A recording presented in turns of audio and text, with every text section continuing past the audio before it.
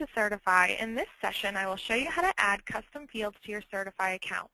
From your home page, select the configuration link on the upper right-hand side. This will open up the backside of Certify to help manage your account settings. In the Company Policy section, select General Ledger Dimensions.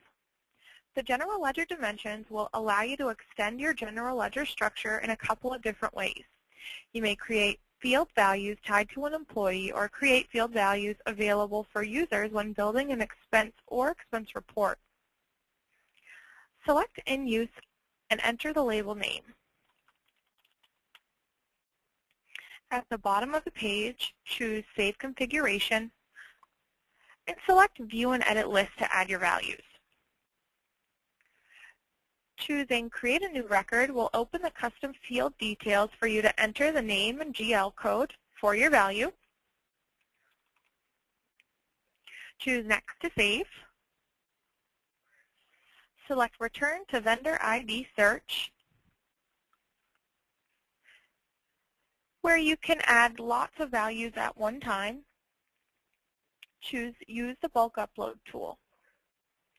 Here you can paste a list of values and codes separated by a comma and choose Add these records. Select Next to save and choose to return to GL Dimensions list. Here we can view and edit our list by choosing Submit. You can remove a vendor ID and vendor ID code or general ledger dimension from the list by selecting the Deactivate button. This will remove it from the current list, but maintain any historical data associated with the value. You can also edit the value by selecting the pencil icon. For additional resources, choose the support link at the top of your page. Here, you'll find resources available in our frequently asked questions, Certify knowledge base, and contact Certify support.